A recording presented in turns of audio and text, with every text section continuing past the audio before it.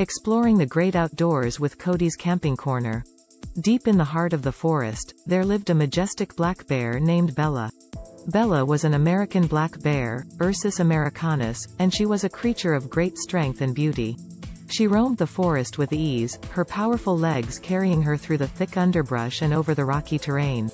Bella was an omnivore, and her diet consisted of a wide variety of foods.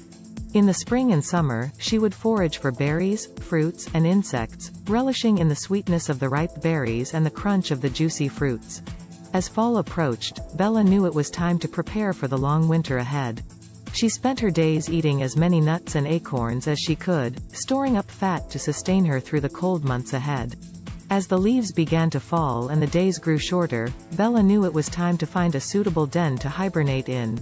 She searched high and low, through the dense underbrush and over the rocky outcroppings, looking for the perfect spot. Finally, she found a cave deep in the heart of the mountain, protected from the cold winds and snow. As winter set in, Bella curled up in her den and closed her eyes. She would not eat, drink, or urinate for several months, relying on the fat stored in her body to keep her alive.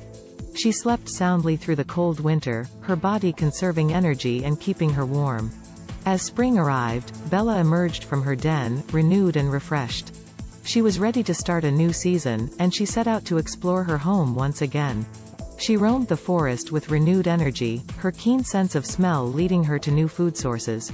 She was a creature of great strength and beauty, and she was a vital part of the ecosystem of the forest. Bella lived a long and fulfilling life, and as she grew old, she passed on her wisdom to her cubs. She taught them the ways of the forest, how to find food, and how to survive the harsh winters. And as she lay down to rest for the final time, the forest mourned the loss of a great and powerful creature, but her legacy lived on through her cubs and the generations that followed.